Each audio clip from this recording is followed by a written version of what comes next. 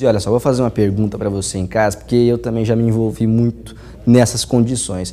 Quem nunca ficou por horas em filas esperando para ser atendido em repartições públicas, bancos ou outros estabelecimentos? Né? O brasileiro adora formar uma fila. Eu odeio entrar em uma fila. Agora, existem mu muitos municípios em que já existem leis que regulamentam o atendimento à população, como, por exemplo, clientes de bancos que devem ser atendidos em até 15 minutos. Né? Essa lei deveria funcionar mais efetivamente. Nós vamos voltar a falar com o Leandro em Rio Preto, porque por lá uma lei semelhante entrou em vigor. Então conta pra gente, Leandro, que lei é essa?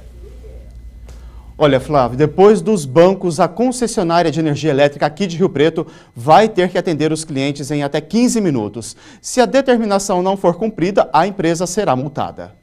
Alguns clientes até que saíram satisfeitos com o atendimento da concessionária de energia elétrica. Foi coisa de cinco minutos, já estavam me atendendo já. Fui atendida menos de três minutos. Foi bom, hoje está ótimo. Mas para evitar abusos que acontecem na demora no atendimento, uma lei municipal aprovada em 2012 e colocada em prática nesse mês, obriga que a concessionária atenda os clientes em no máximo 15 minutos. O inspetor de fiscalização da prefeitura disse que o trabalho vai ser mensal.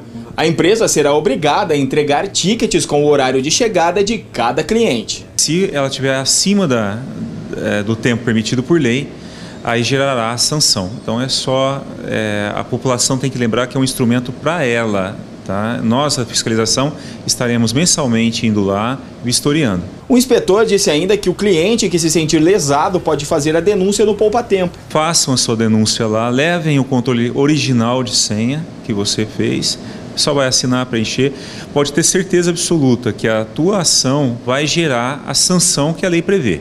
Essa lei é semelhante a uma regra que já existe desde 2005 e serve para os bancos aqui de Rio Preto e limita o tempo de atendimento. Nos últimos oito anos, a Prefeitura de Rio Preto já aplicou mais de 21 milhões de reais em multas contra agências bancárias que desrespeitaram a lei da fila. Mas desse total, os bancos pagaram apenas pouco mais de 8 milhões. O restante é questionado na Justiça.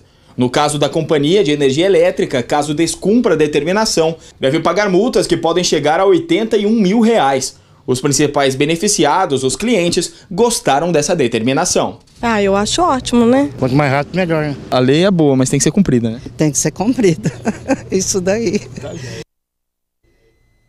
Isso a gente realmente espera que essa lei seja cumprida e a população tem que fazer valer o seu direito, porque a gente está pagando por, toda, por todo esse atendimento e com, em relação a bancos, todas as, essas empresas que prestam serviços ganham dinheiro, a gente paga por isso, então a gente tem que ser realmente muito bem atendido e que não fique lá por horas esperando, esperando por um atendimento. E em nota, a CPFL Paulista informou que a decisão do Tribunal de Justiça do Estado de São Paulo sobre a Lei Municipal de Rio Preto não é definitiva. A, a distribuidora aguarda a intimação oficial para apresentar recursos cabíveis aos tribunais superiores. Então a gente vai ver agora qual vai ser o desenrolar de toda essa história, mas o que a gente espera é que a população realmente seja bem atendida, que é o que todos merecem.